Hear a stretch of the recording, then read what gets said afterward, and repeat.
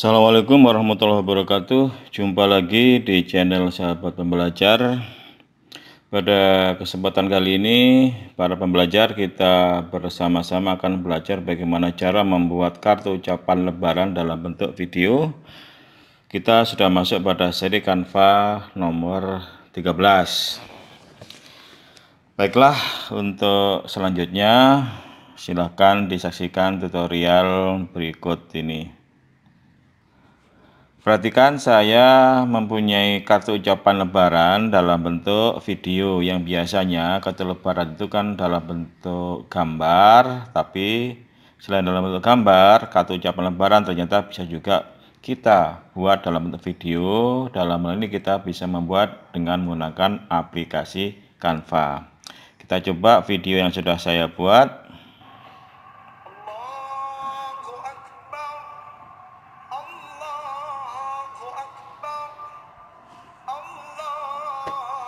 durasinya hanya 30 menit jadi tidak terlalu panjang. Tidak terlalu panjang juga akan membosankan. Cukup sekitar 30 detik bukan menit jadi 30 detik.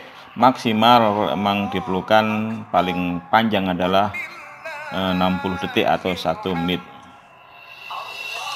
Nah ini sekarang bagaimana cara kita membuat kartu ucapan lebaran dalam bentuk video yang sudah saya contohkan dengan menggunakan Canva. Oke, kita masuk ke beranda ya. Kita buat desain. Ukurannya buat saja ukuran khusus.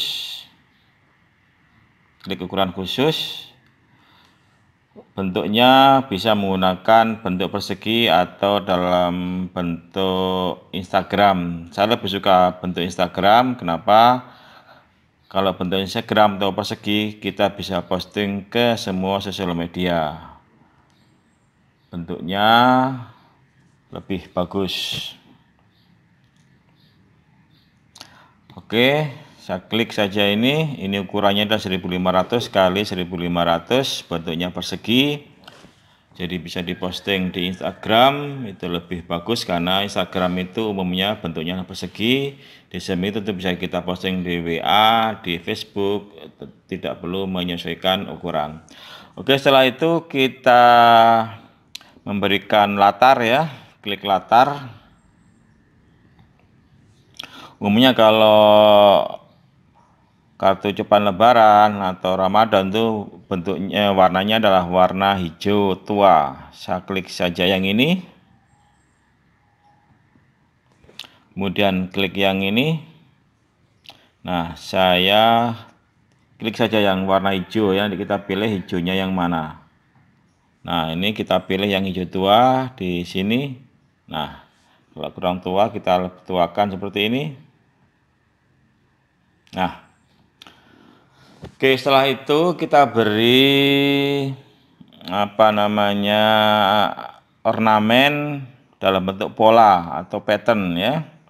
Klik saja elemen, kemudian klik saja pola. Pola Ramadan ya.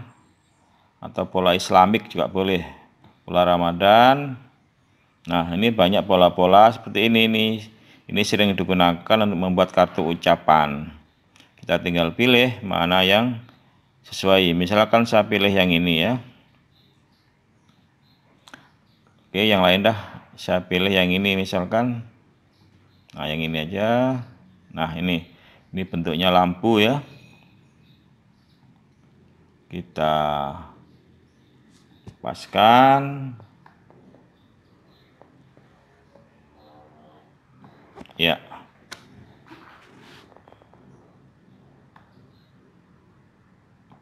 Kemudian kita atur transparansinya jangan 100% tapi kurangi sekitar 20% saja ya, sekitar 20% ya. Bila juga kita ketik di sini ya, 20% saja.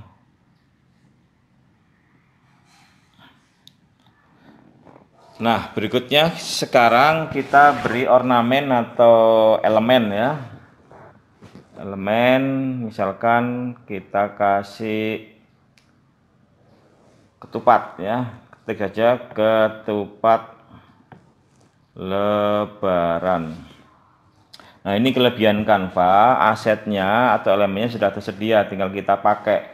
Kalau pakai aplikasi lain mungkin ini tak tersedia. Kita kalau di sini bisa tersedia tinggal pakai misalkan kita pakai yang ini ya. Oke. Biar dua kiri kanan kita copy. Nah. Nah biar simetris ini bisa kita balik. Kita balik kemudian klik horizontal. Nah. Berikutnya kita tulisi ya. Kita tulisi teks. Misalkan nanti namanya sesuaikan dengan nama uh, saudara-saudara sekalian ya. Ini kebetulan ini nama saya adalah Mufatkur Rahman ya. Mengucapkan ya. Nah ini jaraknya agak renggang ya. Bagaimana cara ngatur supaya supaya agak agak berdekatan? Klik jarak ini kurangi ukuran jaraknya sampai agak mepet. Oke. Tarik ke atas ya masih kurang kecil ya. Bisa kita kecilkan. Nah seperti ini. Nah selanjutnya bisa kita beri hiasan misalkan masjid atau apa gitu ya. Boleh misalkan kita ketik masjid ya Oh, klik elemen dulu ya, klik elemen.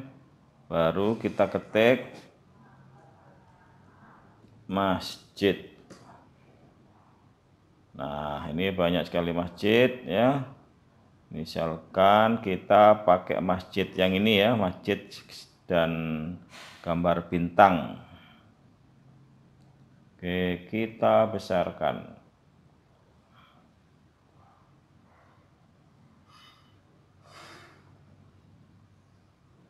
Oke, sampai di sini.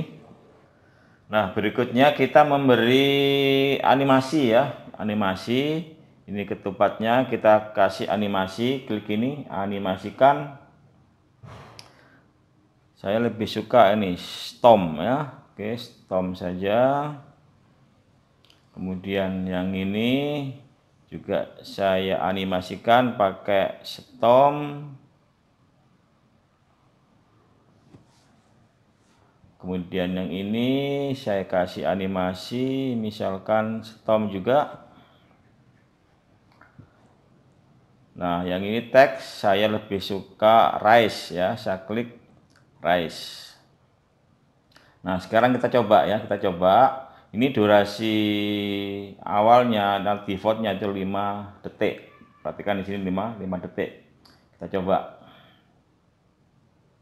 Nah seperti ini ya tapi ini belum ada suaranya, nanti kita kasih suara ya. Oke, kita tutup.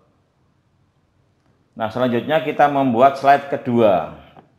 Membuat slide kedua tinggal kita copy saja, duplikasikan halaman ya. Klik.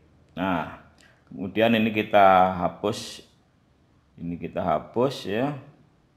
Ini kita hapus. Nah, ini ucapannya tadi halaman pertama ini adalah slide pertama nama kita, kemudian ini adalah selamat Lebaran Idul Fitri. Kita ketik selamat hari raya Idul Fitri ya 1442 Hijriah. Nah, sekarang hurufnya ini bisa kita ganti ya kita ganti. Kita blok saja semua. Nah pilih huruf yang ini ya. Nah ini huruf eh, kesan Arab ya. Nah ini terlalu besar kita kecilkan ukurannya kita kecilkan. Nah jaraknya terlalu mepet kita perlebar ya seperti ini. Ya selamat hari raya Idul Fitri 1442 Hijriyah nah sekarang ini kita berikan lagi ornamen ya seperti apa. Kita lihat contoh kita ya. Ini kita lihat ini yang slide kedua ini Ya, gambar lampu ya, namanya lampu Ramadan ya. Hurufnya tidak sama persis ya. Eh, apa namanya? Kalimatnya tidak sama persis ini yang selamat Idul Fitri tadi itu selamat uh, hari raya Idul Fitri. Oke, saya kasih lagi gambar seperti ini ya. Ini ketik saja di sini uh, ketik saja lampu ya jangan lupa elemen dulu ya. Eh, klik elemen dulu kemudian ketik lampu Ramadan ya lampu Ramadan. Nah ini banyak contoh lampu ya saya pilih yang ini misalkan. Nah, ya. Kita copy saja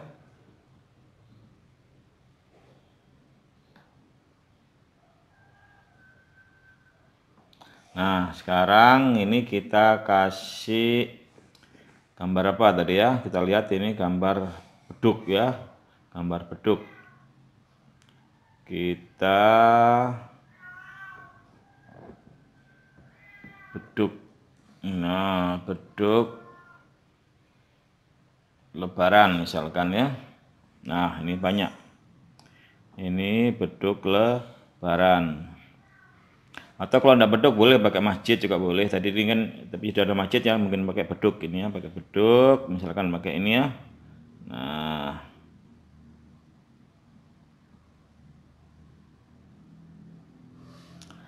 Di sini ada beduk tapi beduknya beda tidak masalah ya. Tidak masalah. Ini cuma sekedar contoh. Oke sekarang kita kasih animasi ya. Ini sudah ada animasinya. Sekarang ini kita kasih animasikan pakai stom kalau gambar saya lebih suka yang stom ya. Ini juga stom saja. Animasikan. Pakai stom. Nah yang ini juga pakai stom. Nah kita lihat ada dua dua buah slide ya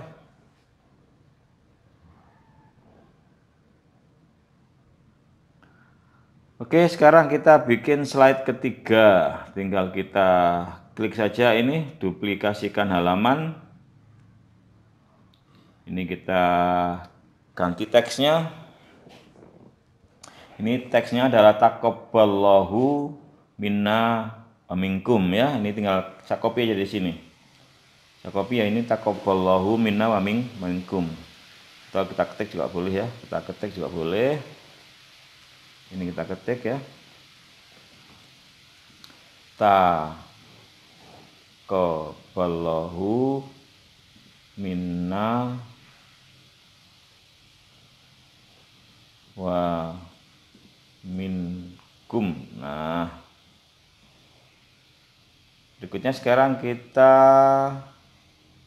ganti ini ya. Kita ganti karena sama dengan di atas misalkan kita ganti dengan orang salaman ya. Orang salaman.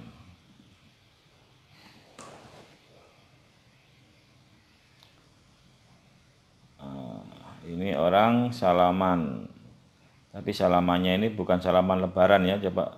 Orang salaman lebaran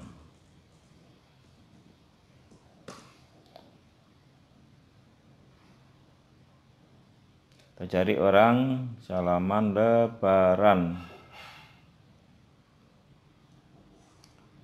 Nah ini misalkan ya ini salaman peluk-pelukan ya oke ada ada salaman kan? Nah oke.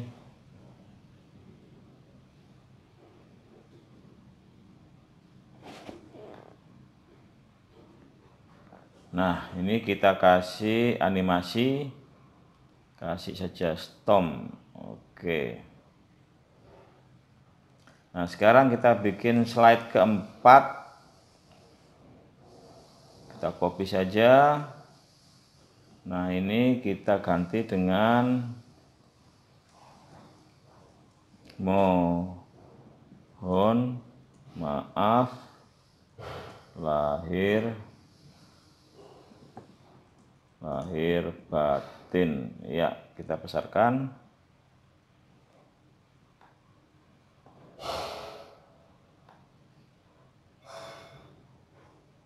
ya ini kita ganti lagi gambarnya biar tidak sama. Kita lihat ini pakai gambar apa ya. Nah, ini pakai gambar terakhir foto kita ya foto kita. Oke saya berikan gambar foto ya klik unggahan ya klik unggahan. Kita cari foto kita ya. Kalau foto kita belum ada di sini maka kita unggah terlebih dahulu. Ya kebetulan saya sudah punya foto ya tinggal saya klik saja.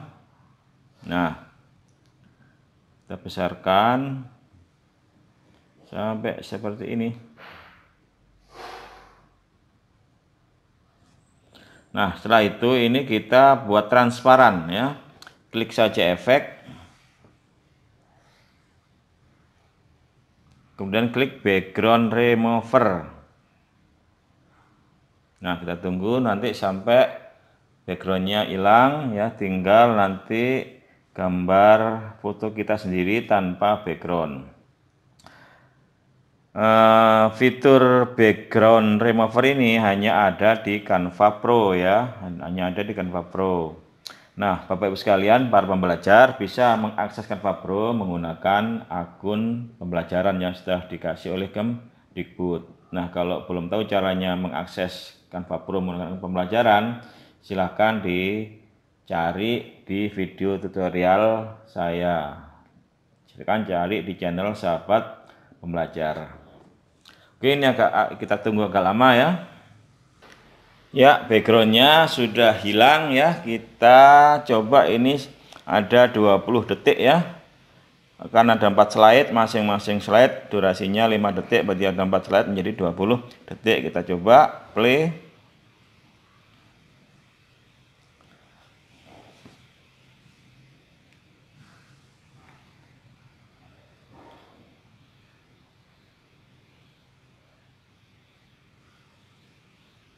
Nah, kita tutup dulu. Sekarang kita kasih suara ya. Kita kasih suara.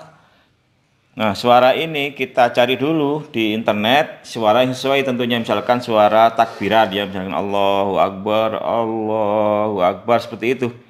Saya kebetulan sudah punya ya. Saya sudah pernah mengunggah, klik unggahan, kemudian klik audio. Nah, nanti kalau Bapak sekalian para pembelajar belum belum mempunyai audio atau suara takbir maka tinggal dicari di internet banyak ya.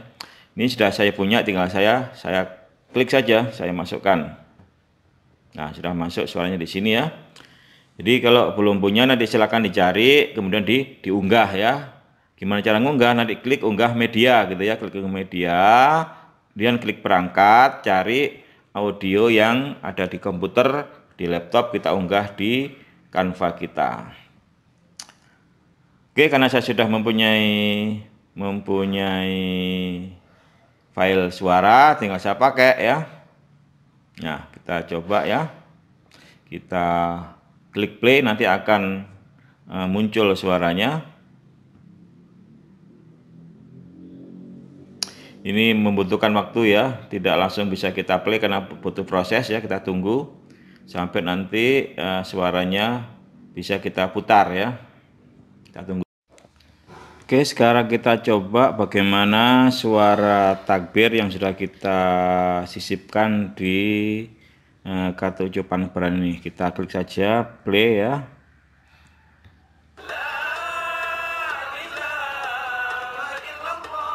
Masih kurang pas, saya geser dikit sini ya. Oke, saya coba.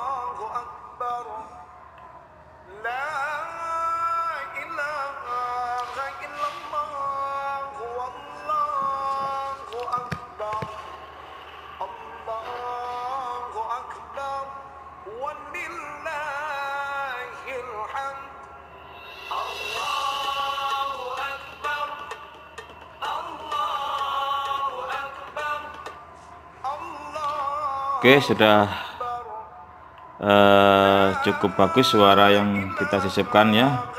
Kita tinggal unduh, klik unduh.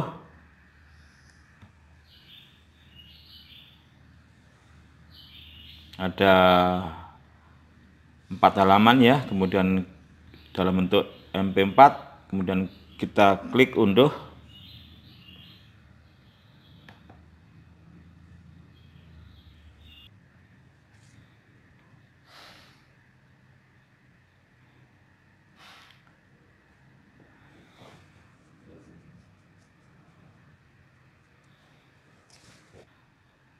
Kemudian klik download. Oke download sedang dimulai.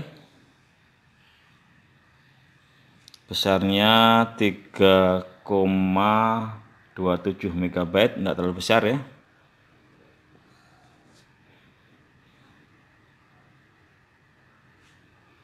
Nah komplit. Kita buka sekarang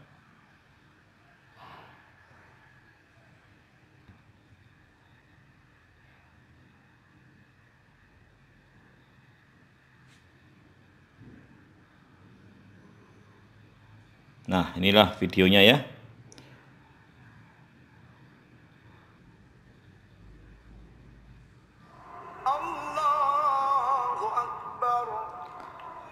Kita saksikan video yang sudah kita buat.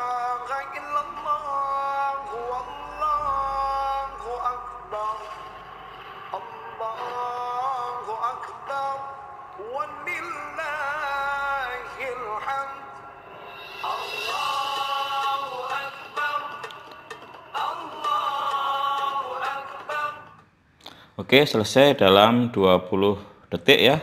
Jadi selesai sudah kita membuat uh, video ucapan lebaran menggunakan Canva. Mudah-mudahan bermanfaat. Saya akhiri. Wassalamualaikum warahmatullahi wabarakatuh.